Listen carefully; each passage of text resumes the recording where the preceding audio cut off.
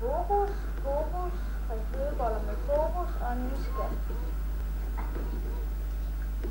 I den kommende weekend kan de opleve Cirkus Stjerneskud i Odense Zoologiske Have.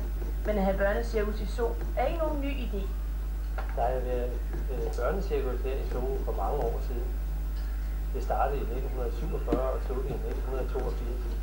Og så prøver vi så nu at genopfriske øh, cirkus i Zoo. Det vil sige, det er ikke ligesom i gamle dage. Det er ikke med dyr. Dyrene er sådan set bare kulisse herude, ligesom de jo selvfølgelig altid har været, men de vil også være kulisse den dag. Det er 15 børn og unge fra Cirkus Stjerneskud, der står for underholdningen, og der er meget at tænke på, når man både skal jonglere og holde balancen. Og selvom dyrene bare er kulisser, følger de ihærdigt med i, hvad der foregår. Det har de også mulighed for, både lørdag og søndag kl. 14.30 på pladsen mellem girafferne og søløverne. I øjeblikket er der også meget andet end cirkus at se på i zoologisk have. Blandt andet har mange af dyrene unger.